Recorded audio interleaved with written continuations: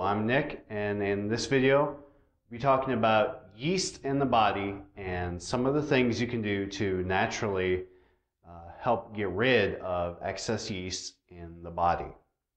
Well, the key reservoir of yeast in the body, as you may have guessed, is the digestive system. And Candida can thrive in the intestines of the body. And this is a key area that is first colonized by this yeast and then the yeast move to other areas such as the vagina and can even start to secrete uh, a toxic substance and alcohol which will begin to adversely affect the body.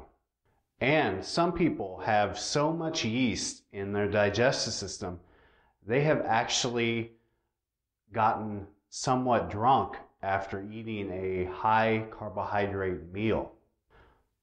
The late Dr. William Crook even talks about this in one of his books uh, about a person who was arrested for operating a vehicle while they were intoxicated, and yet they had not consumed hardly any alcohol, if any alcohol at all, but it was due to an abundance of yeast in their digestive system, which simply fermented the carbohydrates into alcohol.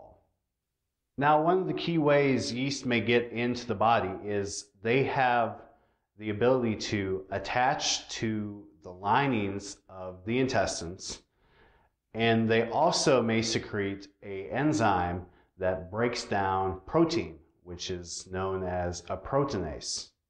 And candida can drill holes through tissue when it grows hyphal germ tubes, which that means Candida transitions from being just a single celled yeast into a long thread like growth, and this can begin to penetrate tissues of the body. So, if Candida is secreting proteinase, it can break down the proteins inside the intestines, and also the germ tubes begin to grow into the tissue, and eventually, Candida will be in more contact or closer to the blood supply that is flowing through the intestines. And you may be able to pick up toxins created by the yeast, and the alcohol that the yeast creates will also be absorbed into the bloodstream. So let's take a look at some of the research that shows what Candida can do when it is inside of the body. A 1996 study published in the journal Infection and Immunity took a cow's aortic vascular endothelial layer. Now, this just means it's the inner layer of the aorta, which is in direct contact with the blood that is flowing through it. So, it is the first layer of cells that keep the blood inside the blood vessel. The researchers used the endothelial layer to create a hollow tube and put candida inside of that tube. Now, the researchers found that after candida was placed inside of the tissue, it was able to migrate across the tissue barrier after a certain amount of time. If the researchers increased the amount of sugar or the number of candida cells or the amount of time the yeast was allowed to remain inside the endothelial layer, the rate of migration to the outside of that tissue layer always increased. So this study shows how candida can break through tissue layers and begin to migrate beyond the physical barrier presented by these tissue layers.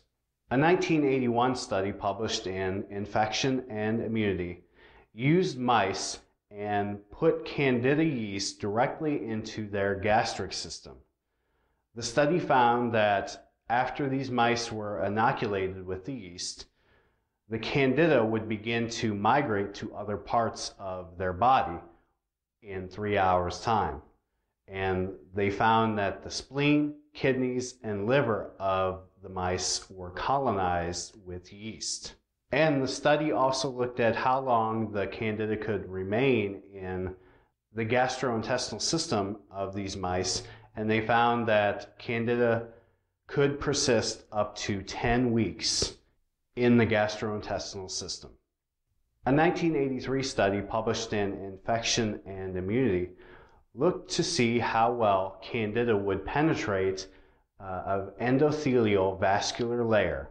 The study found that the Candida yeast would burrow deeply into this tissue layer within 60 minutes of time. And the authors speculated that Candida was using some type of enzyme to accomplish this. So we can see that Candida may be able to rapidly break down tissue and work its way into different parts of the body from the intestines. And of course, the intestines are probably the most important reservoir of yeast in the human body. So, if you have too much yeast in your body, how do you go about getting rid of it? Well, one thing you can do is start a low sugar diet, and that will help starve out the yeast. And another thing you can do is to take antifungal natural items and ingest them. One suggestion is black currant juice. Research has shown that black currant juice can inhibit candida growth, which means it will put it to a complete end. Along with the black currant juice, you may want to ingest certain antifungals such as coconut oil and garlic. These antifungals will help to actually kill off the yeast in your digestive system. If you'd like a more thorough understanding of how to attempt to get rid of yeast in the digestive system, you can check out Candida Hub. The link to our primary gut yeast infection page will be listed in the description, and there you can find out uh, about a cleanse you can do to help remove excess yeast from the intestines. Well, for more information on this topic, you can check out the first link in the description below to the article on Candida Hub, and you can learn more about yeast in the body and exactly how it might work its way from the intestinal system into the other parts of the body. And on Candida Hub, we have a lot of information about natural remedies and solutions for yeast infections. So if you have some time, you may want to stop by and check it out. And while you're there, you can learn about a 12 hour natural treatment for yeast infections that will end recurrent yeast infections and keep them gone. And again, it will get rid of yeast infection symptoms within just 12 hours of starting this treatment.